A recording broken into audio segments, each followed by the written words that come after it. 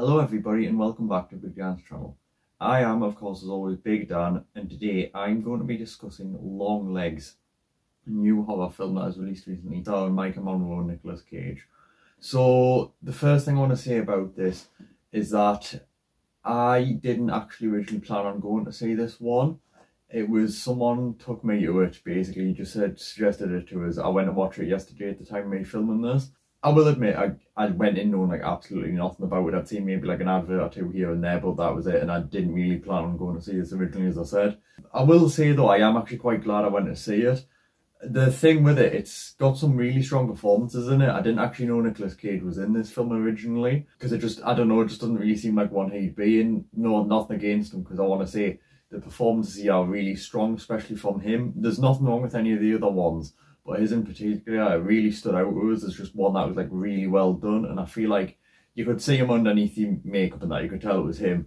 But you could he, I don't know you just really did well in the performance and I thought he did a brilliant job. And I think it just goes to show how versatile of an actor he is really.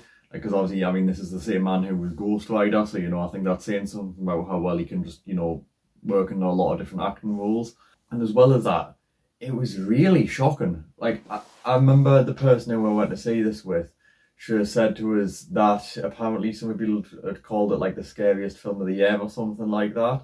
And I'll say this, I wouldn't go that far with it, but at the same time, I did really like the film and I did think it had some really shocking moments to it and that, so I thought it was really well done in that aspect. But yeah, I did really like the shocking aspects of it and for horror, especially in this day and age where to be honest I feel like a lot of them are becoming more and more mid, I did think it did a good job of sort of standing out a bit more, if that makes sense. Um, but yeah, I did really like that aspect of the film, the shockingness of it. I will admit, as far as problems go with the film, I did think it was a little bit too slow moving because, in case you didn't know this, the film's about an hour 40 in its length.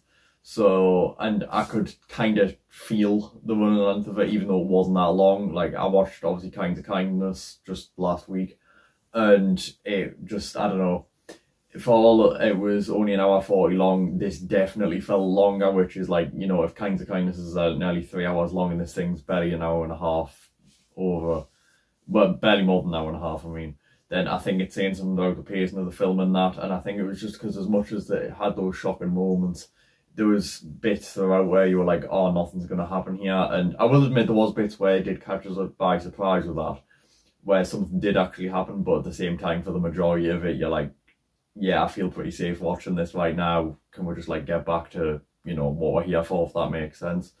And on top of that as well, when it came to the final plot twist of the film, I will admit I'm someone who usually gets caught off guard by plot twists. I'm a bit of a dunce when it comes to them, to be honest.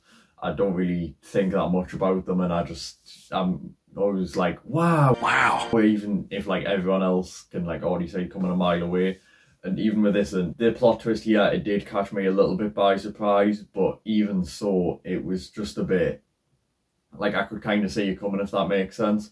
So yeah I don't know it just didn't really catch us by surprise and I was like so you know if when it happened like not be harsh about it but I could kind of tell it was coming.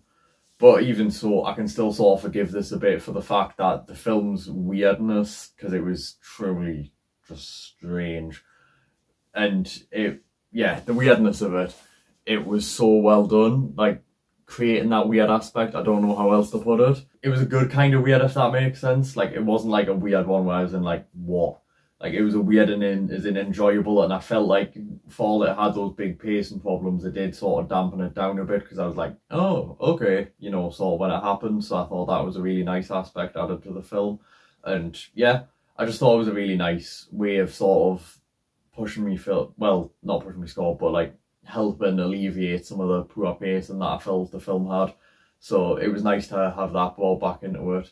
So for all of the reasons I've mentioned, including obviously the pacing being a bit bad, the plot twist not being the best, but obviously the strong performances, the you know unique sort of story of it a little bit, and the just outright weirdness of it, and Nicolas Cage just absolutely being brilliant in his performance here. My final verdict for Longlegs is a 7 out of 10. That again, just like Kinds of Kindness, my rating is slightly below the normal one, but I don't know. I just, it wasn't a four star film. Was, I don't know what's happened. Maybe it's just because I'm getting pickier since I'm going back into films again now after a several month hiatus. But yeah, I don't know. It just as much as I know a lot of people were giving this four stars, and I've seen the adverts afterwards, just how people are describing it, I just kind of quite agree with some of the stuff they're saying. Like, I just don't think it's as brilliant, sometimes masterpiece people are making it out to be. Like, yeah, I enjoyed it, and it's definitely a film worth watching. It was really creepy, but it was just, I don't know, it. It was decent. Again, it was decent. It's nothing against it. I'd still recommend it for watching that. It's just, yeah, it wasn't a masterpiece like well not a masterpiece like a great film like everyone's saying but even so i'd still consider it a film worth watch. And if you've got the time and money to go and see it i'd recommend giving this in a watch. That's just my take on it.